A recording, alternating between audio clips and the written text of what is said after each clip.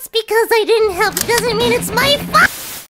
Eh, hey, that's somebody else's pizza! Yeah, I. Wait, what do you do? Ah! Well, there goes the pizza, I guess. Thanks, Watery. I've never. Ah! Hi, Gelatin's Pizza. It's good. Yay.